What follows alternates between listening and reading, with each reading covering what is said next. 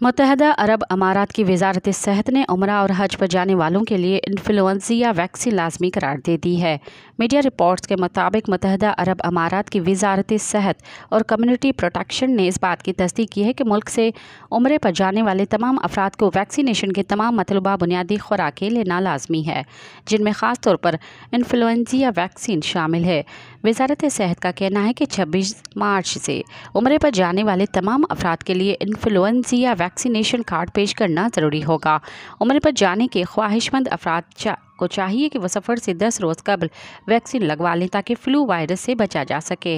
महकमा सेहत आमा और एहतियाती अमूर के डायरेक्टर डॉक्टर निदा अलमरजुकी ने कहा कि हिफाजती वैक्सीन लगाने वाले मुख्तलिफ़ किस्म के अमराज से महफूज हो जाते हैं। उम्र और हज पर जाने वाले ख़ास तौर पर मम्मर हामला और दूध पिलाने वाली ख़वान वैक्सीन ज़रूर लगवाएँ। मज़ीद ख़बरनि ऐं तफ़सीलात